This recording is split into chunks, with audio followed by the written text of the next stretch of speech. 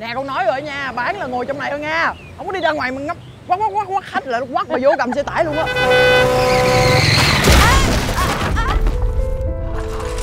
Em ờ, không thể nào mà vừa chạy tới chạy lui để lo cho con với cho mẹ được anh ơi. Tôi đến gọi cho mấy đứa kia. Năm Thảo, mày lo mẹ được không? Trời ơi em về chăm thì được rồi đó Nhưng mà cho ít bữa nữa được không? Bé Thi vợ em đang mang bầu sắp xanh mấy đứa đứa nào cũng bận á cho anh rảnh à. Anh mà công việc với mấy đứa đó là đã chạy về rồi. Nếu như chân mẹ lành lặn thì còn đỡ Đằng này chân mẹ như thế Mà anh đưa mẹ tận từ trong Nam ra ngoài này.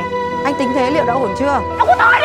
Cô đại bà dâm Mà ông có bị khùng không? Ông già vợ mà ơi với bà già chồng Thấy không kỳ không Gần xuống lỗ hết rồi, kỹ gì kỳ Lát nữa tôi lái họ còn xuống lấy hàng nữa nè. Phải thu hoạch cho xong chứ không thu hoạch kịp đó là ăn cho hết luôn. Ôi không cần bé Tôi giao hẹn 3 ngày tôi trở lại mà không đúng á. Tôi đi kiện cậu đó. Con gái gì đâu mà để chị nhận mình vậy? Ăn uống gì chưa bà hai ơi ôi vụ nguy hiểm chưa cái lần chi năm sáu đứa không đứa nào giúp được cái gì hết trơn á. Mấy đứa con của tôi nó nghe tôi bệnh một cái hả? Nó đôn đáo chạy về. Ôi, bà có phước quá rồi. Lạnh hả? Ơi bà hai đi đâu sáng về không thấy? Coi chừng ra bờ suối, lũ cuốn trôi luôn rồi đó. Cái miệng ăn mắm ăn muối không à. Mẹ ơi! Ba